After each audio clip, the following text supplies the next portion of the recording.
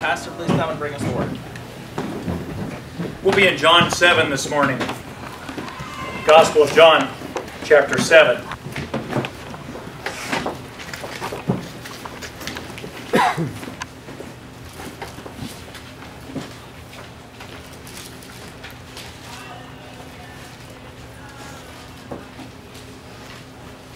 They're still singing. Amen. Well, the kids were singing today, weren't they? They were. Amen. Evidently, they know count your blessings. Yeah. They're the now generation. That's right. Can't say that enough.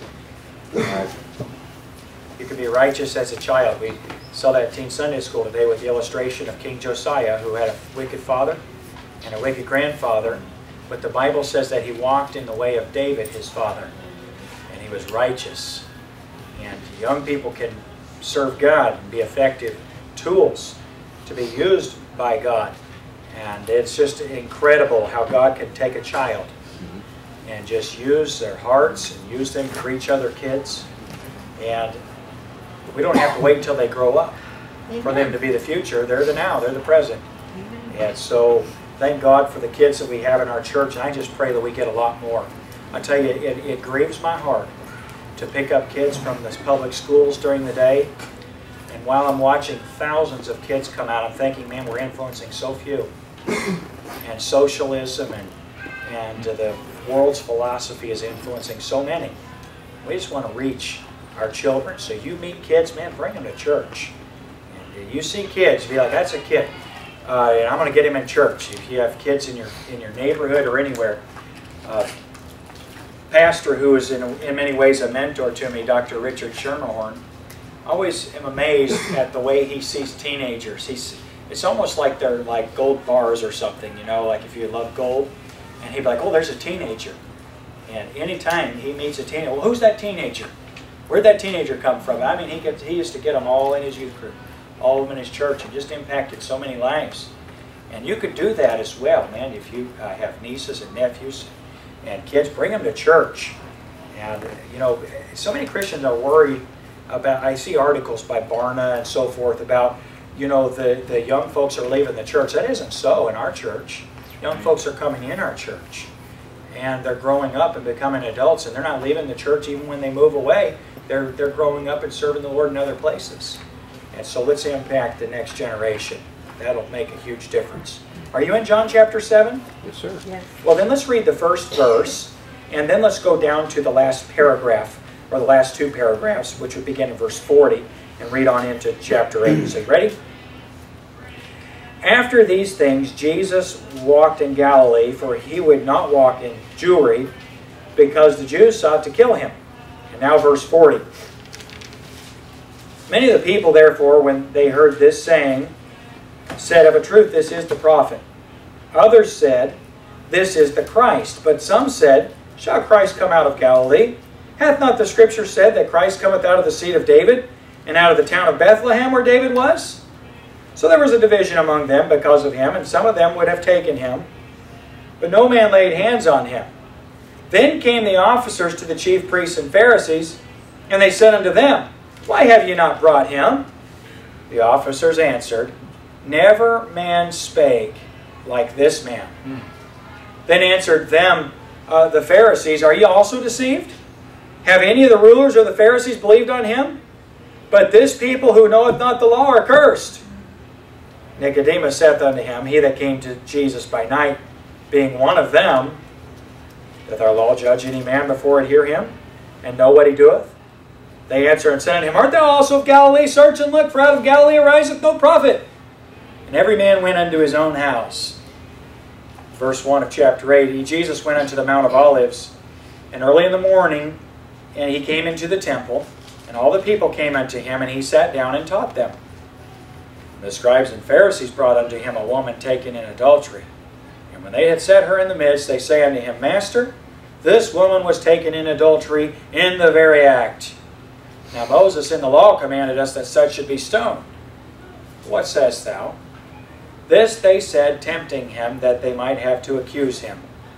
But Jesus stooped down and with his finger wrote on the ground, as though he heard them not. So when they continued asking him, he lifted himself up himself and said unto them, He that is without sin among you, let him first cast a stone at her. And again he stooped down and wrote on the ground. And they which heard it, being convicted by their own conscience, went out one by one, beginning at the eldest even to the last, and Jesus was left alone, and the woman standing in the midst. Jesus had lifted up himself and saw none but the woman. He said unto her, Woman, where are those thine accusers? Hath no man condemned thee? And she said, No man, Lord. And Jesus said unto her, Neither do I condemn thee. Go and sin no more. Father, as we are in this portion of the Gospel of John that shows us how we can know that Jesus is the Christ and that we might believe on Him. Help us to look in particular at how some did not believe and how others, such as this woman, did believe. And Lord, as we do that, help us to be introspective. Help us to see our own hearts and our own need for the Savior. And then, God, I ask that you would help us to look outside of ourselves and see others the way that you see souls. We pray in Jesus' name. Amen. Amen. Well, we see in our transition into chapter 8, we see that the popularity of the Lord Jesus is waning, so much so that he is spending his time in the regions of Galilee, which would have been where after he had been born in Bethlehem and then been in Egypt for a couple of years, Jesus had grown up. He'd grown up in Galilee, and that had been the region that he was from. And there's a an interesting, uninformed conversation about a prophet arising out of Galilee, which is completely hypocritical about Jesus. I love reading that portion of the scripture for a couple of reasons. First of all, because I like seeing follow up on Nicodemus, the man that came to Jesus by night. We saw Nicodemus a, a few weeks ago, and one of the things that we learned was, first of all, how simple the gospel is and we, we heard the gospel simply from the Lord Jesus himself. And Jesus explained the gospel by, uh, by helping to understand that every person needs to be born spiritually. Without spiritual birth, no one goes to the kingdom of God, including religious rulers and Pharisees like Nicodemus. You must be born again. And then Jesus explained the simplicity of the gospel uh, he explained using the illustration of Moses and the serpent in the wilderness. I don't know what it must have been like to have been one of the twelve to have witnessed, as John evidently did, this encounter with Nicodemus. But can you imagine how confusing or what a conundrum the serpent in the wilderness until Jesus used it for an illustration must have been up to this point? Hmm. the serpent in the wilderness to me is like, well, isn't the serpent symbolic of the Satan? Isn't it? You know, and why would God tell the children of Israel when they're bitten by a poisonous serpent to lift a serpent up? King Hezekiah destroyed the serpent because it became an idol that people worshipped. And so it must have been a little bit confusing. And then the aha moment when Jesus said, As Moses lifted up the serpent in the wilderness, even so must the Son of Man be lifted up, that whosoever believeth in him should not perish, but have eternal life. And I can imagine being like John saying, That's what that meant. That's what that meant. Sin had to be nailed to the cross. And when you look at the cross where Jesus Christ shed his blood, see, the Son of Man must be lifted up. So Jesus is what's lifted up. And just like the people looked at the serpent and lived, that's faith. That's how you believe in Jesus, by looking to the cross. And that's how simple the gospel is. God doesn't add anything to the gospel. Men add to the gospel. Boy, there are books written complicating the gospel uh, to, to the point where I wouldn't know how to believe it. I couldn't pray the right sinner's prayer.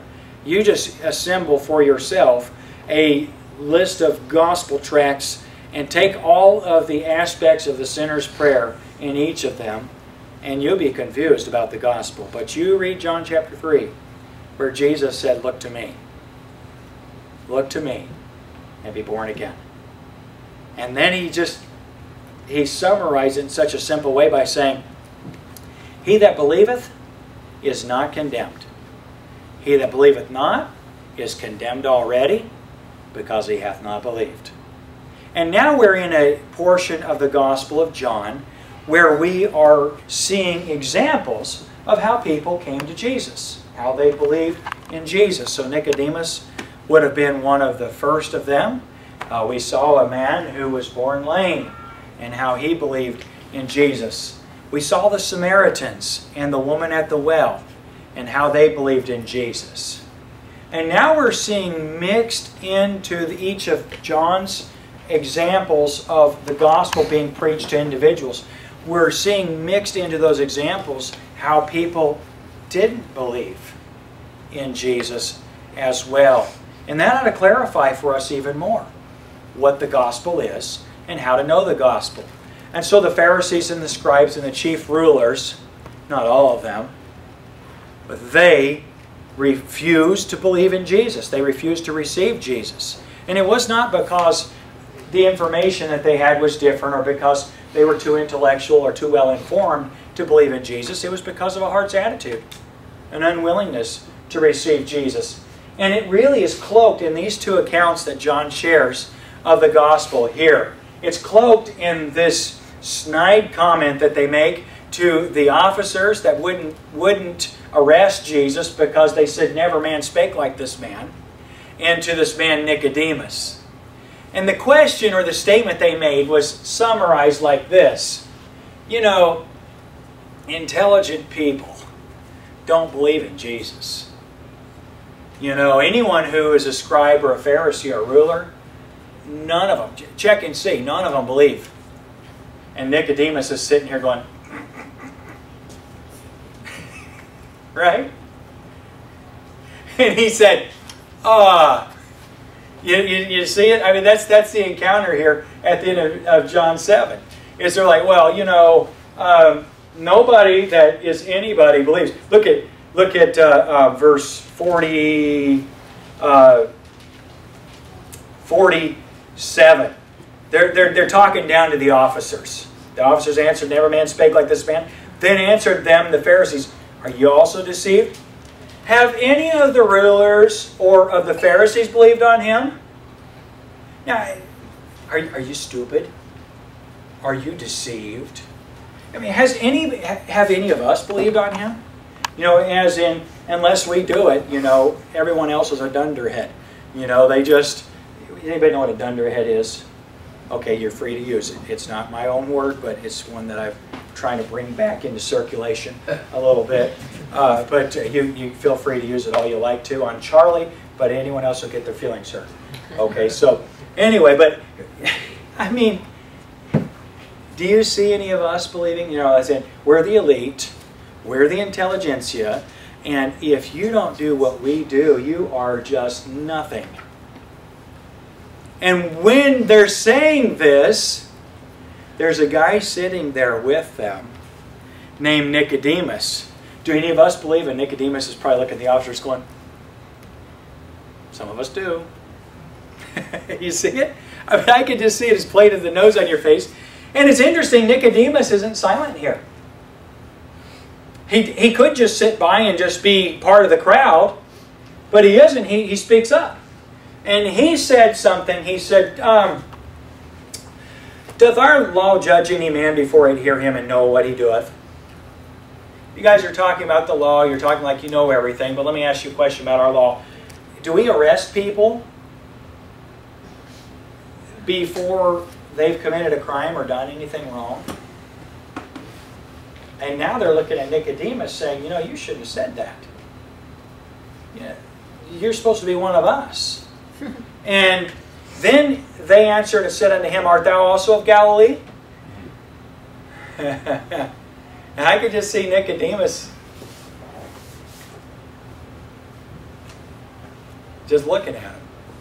And, Art thou also of Galilee? Search and look, for out of Galilee ariseth no prophet. Now there's two arguments that they're making to try to convince people not to believe in Jesus. The first argument is intelligent people don't believe in God. and that's the equivalent of it today, isn't it? Yes. I mean, that's the equivalent of it. Intelligent people don't believe in God. And my simple answer to that is everybody believes in God. And that's a fact. Mm -hmm. Everybody believes in God. And so,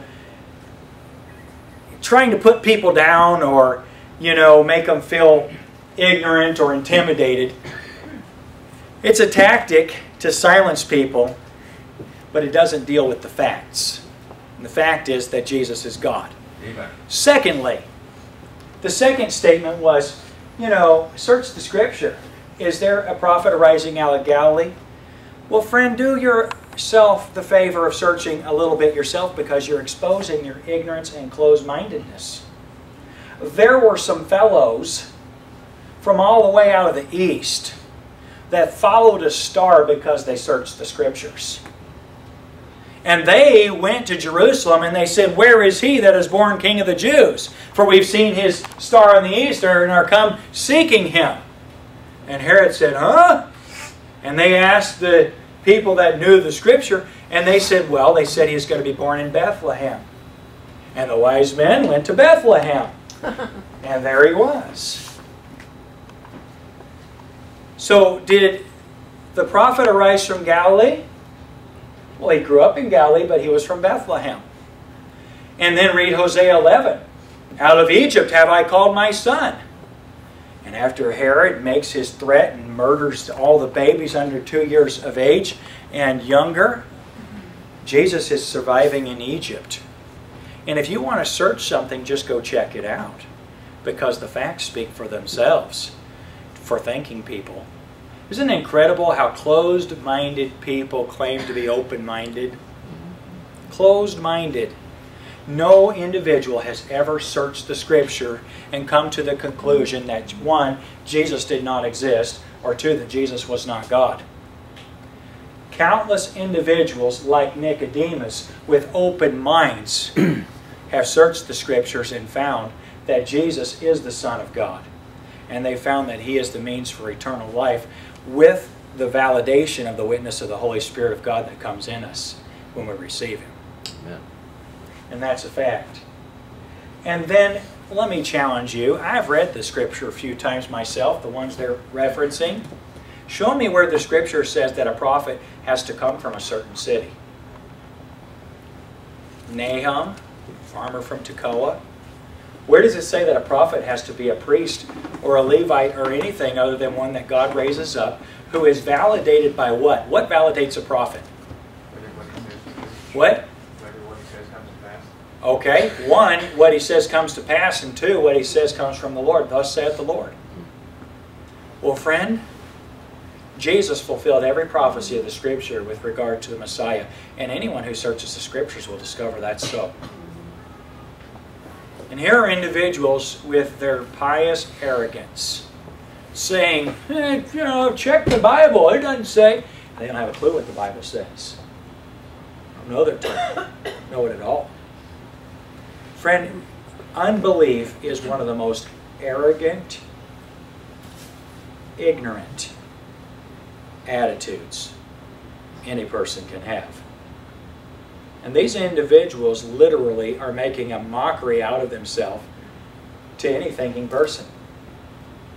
Why? Well, because their motivation is unbelief. And so we have a mixture of that. Now, chapter 7, verse 1 Jesus walked no more in Jewry. Why? Because the Jews sought to kill him. And then, the end of chapter 7, we see an example of unbelief. Then we find it carried out in a contrasting category where a woman taken in adultery and these pious individuals who are so conscientious about the law bring her to Jesus to see if he'll contradict the law. That's where we find ourselves. Jesus was on the Mount of Olives teaching his disciples, and then he went into the temple and he sat down, and people are coming around him, and he is teaching the people. While he's teaching the people, I, I suspect with some commotion, I suspect with, you know, a little bit of, uh, you know, some pomp and circumstance, they bring this woman in to the midst interrupt Jesus' teaching, interrupt his reaching the people, and say, This woman was taken in adultery, in the very act. We don't need to spend much time on what the scripture here doesn't say. Sometimes, and matter of fact, most of the times that I hear this passage of scripture preached, I hear more time and more emphasis on what is not said than on what the scripture plainly says. I'm fine if you have a lazy afternoon with nothing to think about to ponder what Jesus may have written on the ground. But the Bible doesn't tell us what Jesus wrote on the ground, and so therefore it must not be significant enough for the Holy Spirit of God to make that the point of the passage, okay? So a lot of people say, well, he wrote the names of the people on the ground. You have no idea whether that's what he wrote. Well, he wrote the law on the ground so that every sin that every person there had committed would see their sin as he wrote it on the ground. Well, maybe he did, maybe he didn't, but the Holy Spirit didn't see fit to emphasize that. And so let's don't spend too much time there Amen. today. That isn't the point of the Scripture. I fear sometimes for the purpose of sensationalizing a sensational book that we embellish things that aren't there and we ignore the things which are. So let's look at the things which are. There's an example of belief and there's an example of unbelief in this passage of Scripture, and that's what is plainly laid forth for us to take example from or to find an example from in the Scripture here. So this woman is set in the midst, and she's accused, and she's told uh, she's guilty, and she's guilty by the law. There are enough witnesses, and this is what the law says. And in Jesus' perspective, the question is, what are you going to do? Let's talk about the implications of the question. What did Jesus have the right to do if he wasn't God? Stoner. Stoner. If he wasn't God? Oh, if he wasn't God. Do you, do you- do you see the contradiction here? You're bringing a person for judgment to someone that you're claiming isn't a rightful judge. It's ironic, isn't it? So what's implied in that? You know he's the rightful judge, you just think that you're going to get him to make a right decision and it won't be popular. That's all. Uh, we do live in an age, don't we, where when the prophet said, Woe unto them that call evil good and good evil, we live in that age today, don't we? Yes. We have a convoluted morality today. Today, the high morality is accepting anything that is offensive to God. And the immoral thing is holding to anything that's offensive to God. I'm not promoting him. I'm not saying I'm a big fan of him, but I appreciate Franklin Graham's tweet last week about the politician.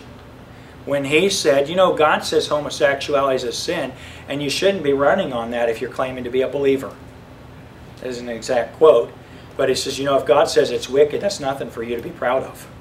And I appreciate Franklin Graham saying, you know, God says that's wicked. And he may have caught some flack for it last week, but I suspect as well that righteous people appreciate somebody verbalizing something that needed to be said. And uh, appreciate that from him. Well, here are individuals that are coming to the judge. Make no mistake, Jesus is the judge. Coming to the judge and saying, let's see your judgment on this one. Here's the law. And they make their case.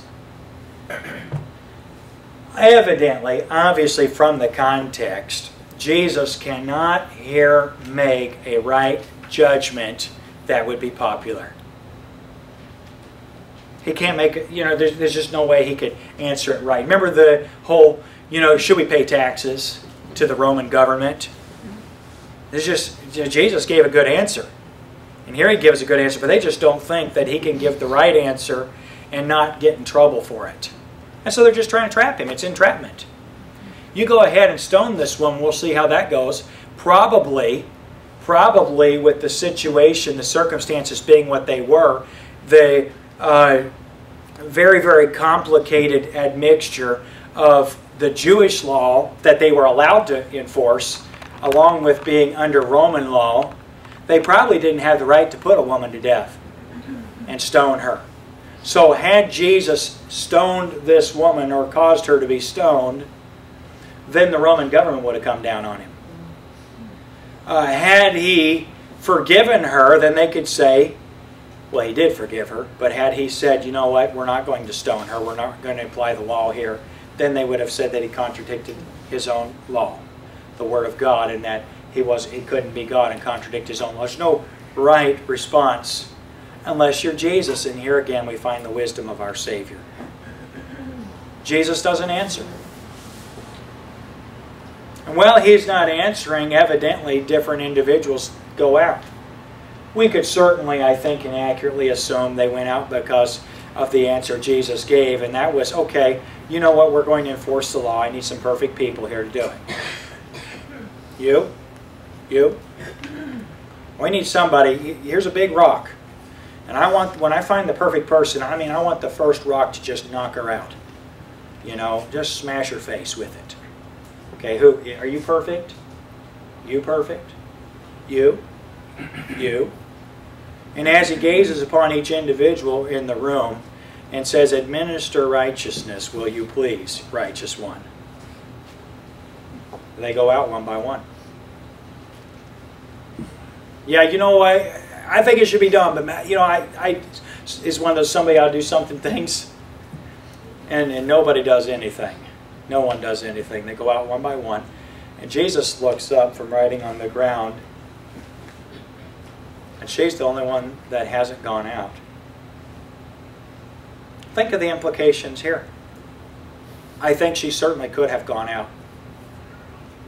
When the last person left, there are those individuals who have made would have probably tried to make their escape. Jesus wasn't holding her there. But she was there because she saw a justice. She saw a righteousness. She saw something that was different than her accusers. She saw the Son of God. And he said, Woman, where are those thine accusers? Hath any man condemned thee? No man, Lord. And Jesus said, Well then, neither do I condemn thee. Go and sin no more. Jesus is different from any human justice, from any human judge, because he had the right to be judged in the place of the sinner. And therefore he had the right to forgive a sinner. Here John is giving us a snapshot, and a very clear one, that is implying that Jesus has the right to give forgiveness of sins because he is sinless. And so he can say, Go and sin no more. You know, if Pastor Price were to say, Go and sin no more, you could just follow that rascal for a week and say, You don't have any right to tell me that. And the same for any other person here.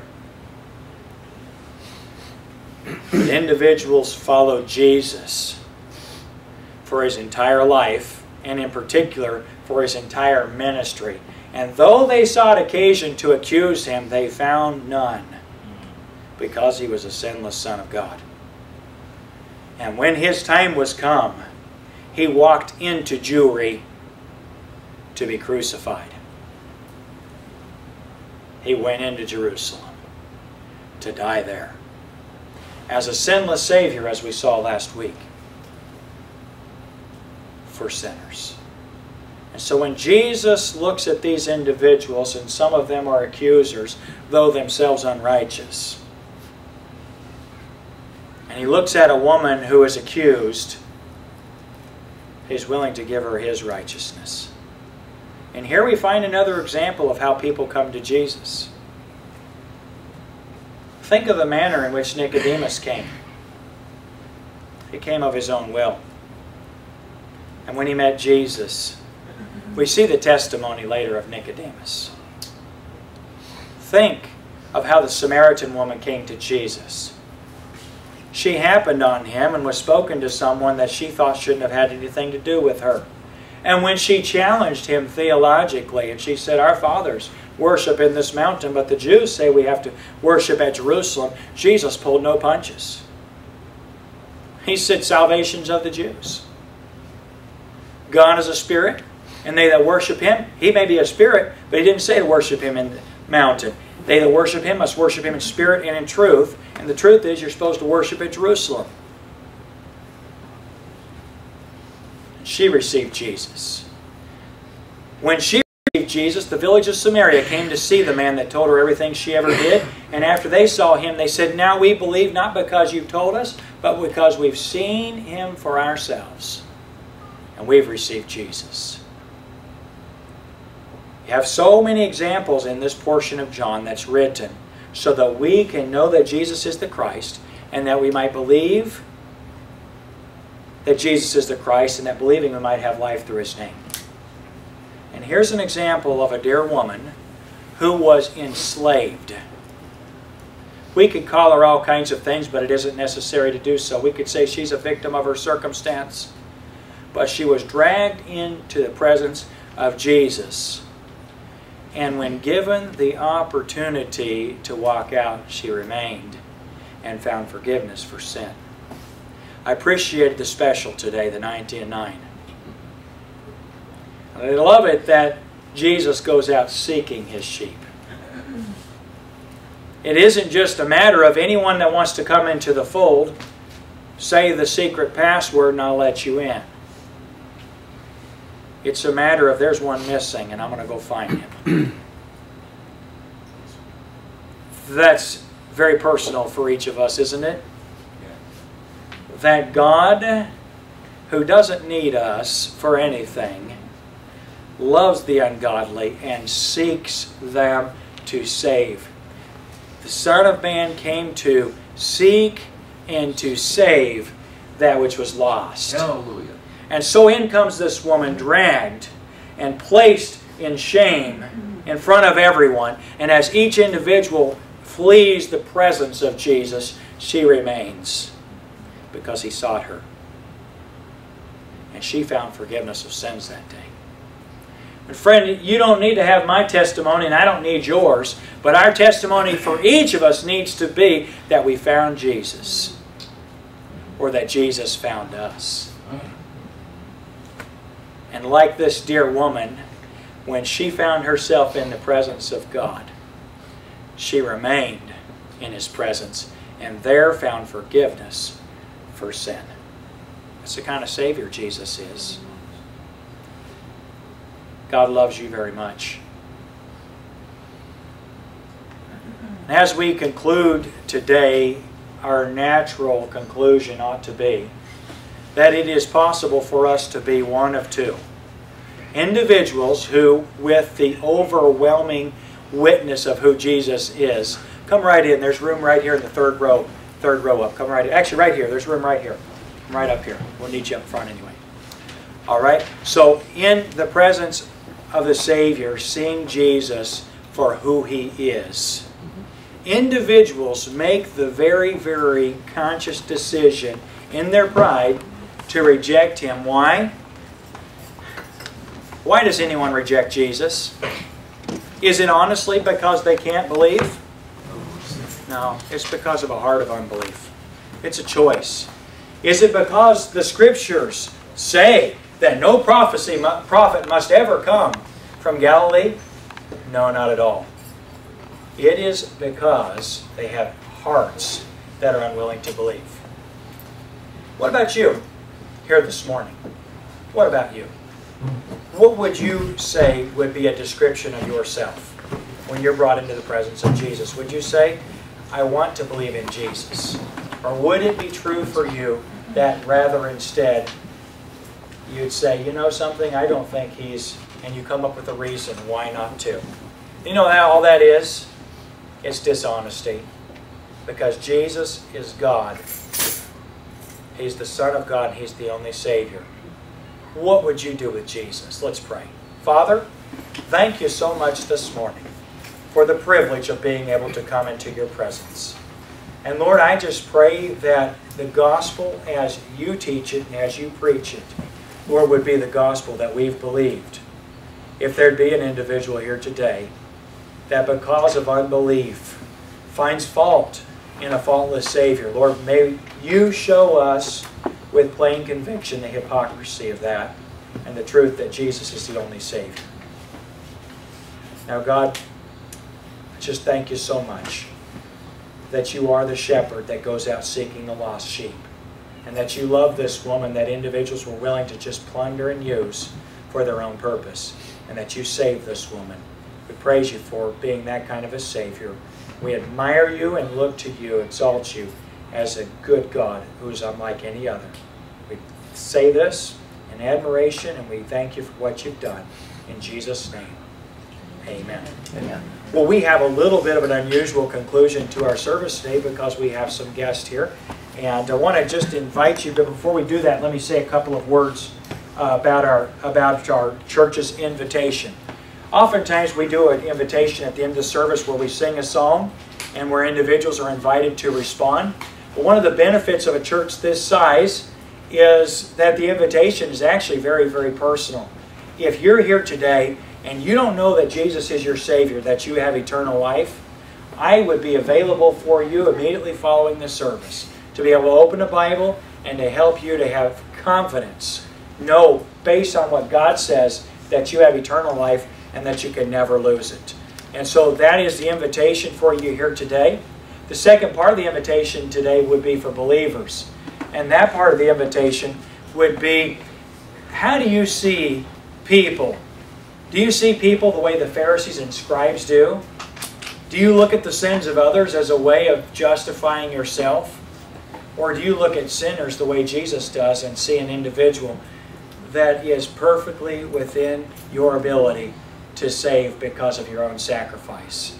And Jesus became that woman on the cross for Jesus Christ. And she got his righteousness. God can save anyone. Is that how you look at people? And that ought to be our attitude toward the lost. Uh, I want to ask our guests today. We have uh, Brother Enoch and we, we have um, Ansi. Enoch and Ansi. And then baby uh, uh, Ne- is it Nahau? Nehau? Nahau. Baby Nahau. Why don't you guys come up here real quickly? Just come stand right by me. Uh, God has blessed them with a baby boy. And uh, last week they called me and they said, you know, Pastor, we'd like to have uh, we'd like to have you baptize our baby. And so we met last week, and of course, a baby can't make a decision to be baptized. But when a parent is being spoken to by God, and he is showing, God is showing them what a blessing it is to be given a child to raise, and what a responsibility as a parent it is to be able to instruct them to know who God is, and to be raised to know who God is. Well, that's a, that is a vital responsibility. And God has shown them something. God's put something in their heart saying, you know something, we want our child to know Jesus. want our child to know God. And this is going to be a journey for them. They're going to have to grow as well in order to be able to raise their child to know Jesus Christ. And so we had this conversation last week. Proverbs 22, 6, I believe is the Word of God, don't you? And Proverbs 22, 6 says this. It says, train up a child in the way he should go, and when he's old, he'll not depart from it. And so we're going to have with you as witnesses a little bit of a dedication ceremony here with, for Nehau. Nahau. Mm-hmm. Nahau. I wish I could say it. It sounds like Nahum, but Nahau. Mm-hmm. All right. I'll do better later, I promise. Okay. So we're going to have a dedication for him. If you stay here, I would just like to pray with them and give you guys a little bit of a charge of the responsibility of raising a child for the Lord Jesus. In order to raise your child to know the Lord Jesus, of course, that means that you're going to have to grow in your faith as well. And a vital part of that is being invested in a family like this one of individuals that could teach you the Word of God and to help you to grow spiritually. And that is the only way that he is going to be raised to know Jesus is to be raised by his parents' example. And so this is a grave responsibility. This is a big deal.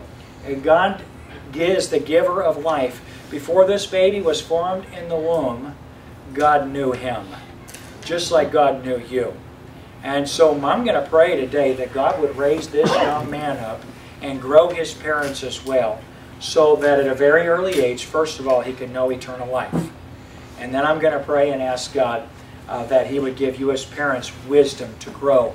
And then we as a church want to help you. We want to I want to charge our church with the responsibility when God sends people to us that He's put something in their hearts, then it's our responsibility to help and instruct them.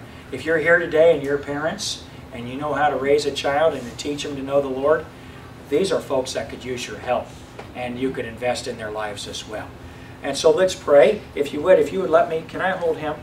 Why don't you hold this and I'll hold him, if it won't wake him up. I hope he doesn't wake up and say, oh! Watch babies cry when I hold. Okay. We're going to say a word of prayer. And I want to ask uh, Brother Charlie, if you'd come up as well, I'd like you to pray with us as well. Charlie's one of the leaders in our church. Yeah. He's snoring. This is what some of y'all could be doing in about 25 minutes. Don't do it until you get home. All right. Would they, are you going to ask them to be, uh, to be the godparents? Okay. All right, tell me your name. Steve. Steve, okay. Steve? And I'm Lily. Lily, okay, all right. Okay, well, let's pray for this family, shall we? And then Charlie, I'm going to ask you to pray as well. God, the gift of life is such a precious thing. So many individuals are given children and they don't realize that they are a heritage from the Lord. And this young man, God, I'm praying right now that at a very early age that he would hear the gospel and know it. And that he'd receive Jesus as his Savior. I ask that you would uh, help his parents to raise him in such a way that he has a very, very tender heart to truth. God, I pray that you would give him the ability from your word to see evil and to see righteousness and to choose to be righteous. Lord, I ask that it would be evident from a very early age that you would place your call on this young man's life, that you'd use him. Lord, if, if I could have my way, and I think, I think this could please you, would you call him into the ministry to preach the gospel to the world? And Lord, I pray that you would give his parents wisdom. Help us as a church. God, we get so busy sometimes, and we're so guilty sometimes of ignoring the most important things. Help us to invest in the life of this family. I pray for these individuals who are committing to this role in his life. Uh, I just ask that you would give them the wisdom, that you would grow them first so they could be ensamples. Lord, we thank you for the cross of Jesus that makes sinners perfect because they have your position as sons. And God, I thank you that you could just use people like us. Bless these parents. And God, encourage them. Put people in their way that would instruct them and challenge them. And then, God, I pray for our church. Lord, help us not to be irresponsible in this task that you have privileged us to have in helping these parents to raise a child to know Jesus. And we pray all this in his name. Amen. Amen. Charlie? Charlie, pray for you. Let's pray. Father, thank you for today. Lord, I pray that you, would- I just second Pastor's requests. I think in particular now uh, with Steve and uh, any other extended family members, Lord, uh, you'd give grace there. I pray in particular that you uh, not only give wisdom uh, to the parents and to he as well. Lord, I pray as far as that, um, Lord, even now that you would work with regard to uh, sanctifying influence uh, in their heart, Lord, that, that they would have a growing dissatisfaction uh, with this world, Lord, and that they would have a hunger and thirst for righteousness. I pray in particular for now as well, Lord, that um, early on, Lord, that you uh, put a hedge of protection about him, Lord, that uh, he would not have uh, scars of tragedy of um, many young child, uh, many young children, uh, even his age, Lord, uh, that um, a lot in this community that Satan's really hard at work to destroy their lives. And so I pray, Father, that um, Lord, you would you you would guard him, Lord, till not just till, but uh, following um, him getting saved at an early age. And Lord, I, I pray as well that um, you just give him a heart of a soul winner, Lord, and that um, Lord, he would be grow, he'd, uh, he'd be raised to be somebody that would be used mightily of you, Lord, and that, that he would influence many, uh, not just within his family, but also within his community as far as to know Christ and to live for Christ. And Lord, I pray for the, um, again, for us as well, Lord, that we would be good examples and that uh, we would uh, not neglect our responsibility, Lord, in uh, seeking to live for you. And I praise in Jesus' name. Amen. We're going to be dismissed. Uh, At this time, and once you guys stay up here and we'll get a picture real quick. Charlie, can you grab my phone from, I guess, right on the pulpit there? I want to get a picture with you guys and with your uh, certificate as well. All right. You're dismissed. Thank you.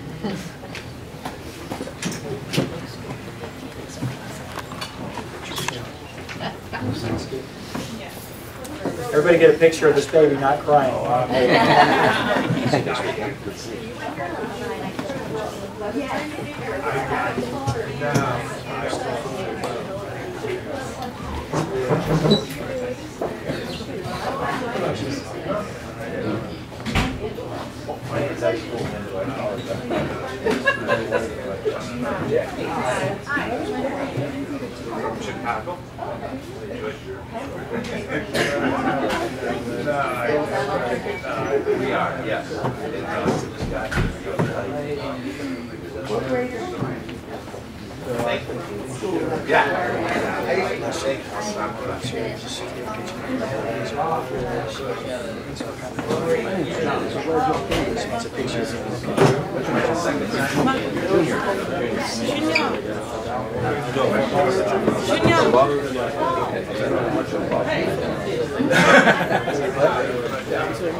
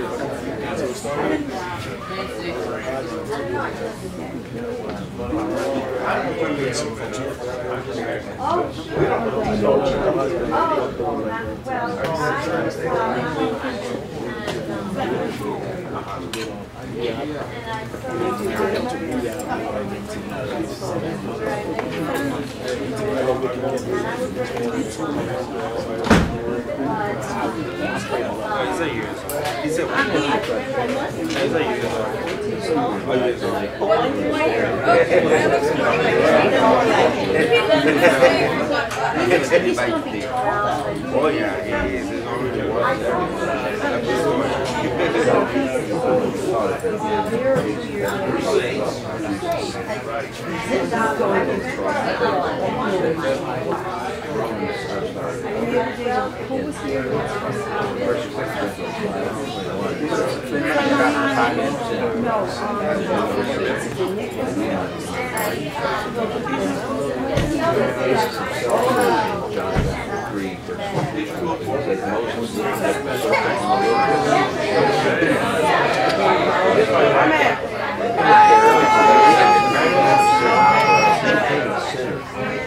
here. Yeah,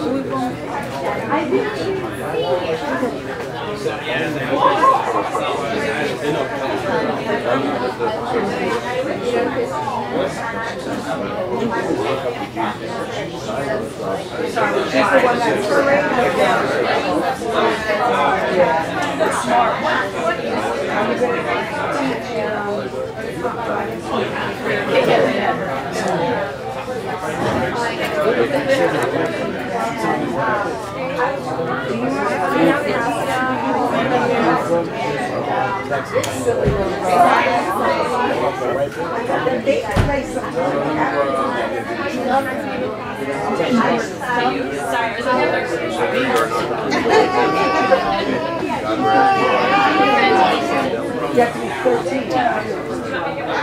This is my friend.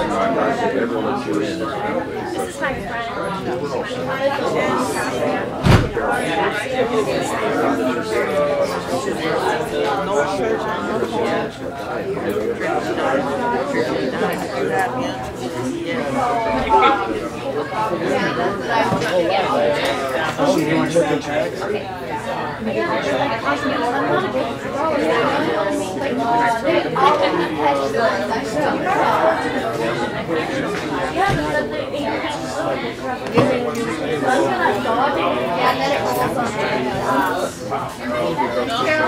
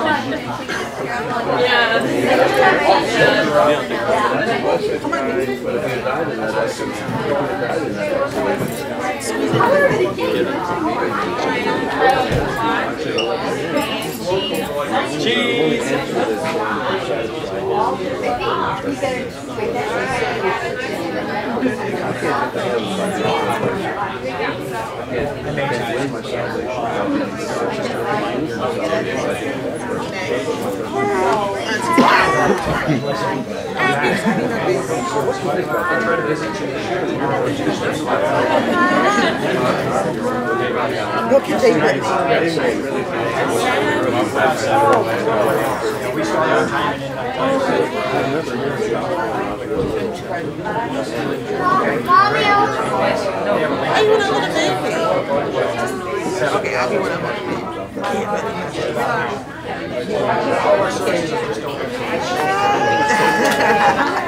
our time. Tell me your name. Nate, nice to meet you. Oh, your brother. Okay, he got the tall shade, he got the average.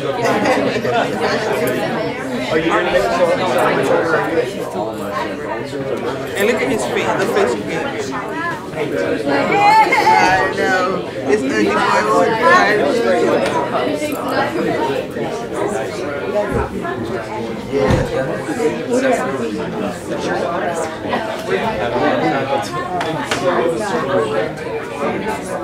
Abby, come here.